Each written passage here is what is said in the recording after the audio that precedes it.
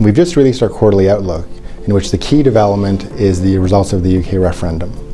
This is expected to be a relatively important development for both the UK and the European economies, but we think the impacts on the rest of the global economy will be relatively muted. We have seen very significant impacts, however, in the currency and interest rate space. So the US dollar has appreciated significantly since then.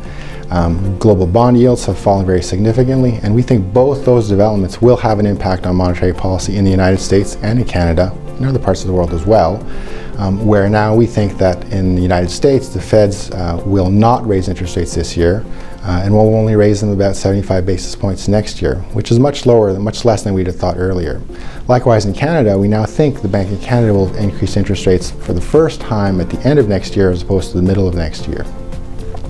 Overlaying all of this are developments in commodity markets, which of course are going to be affected by a slightly weaker global outlook. That being said, we do think the oil prices will continue to rise from an average of about $45 a barrel this year to 55 next year.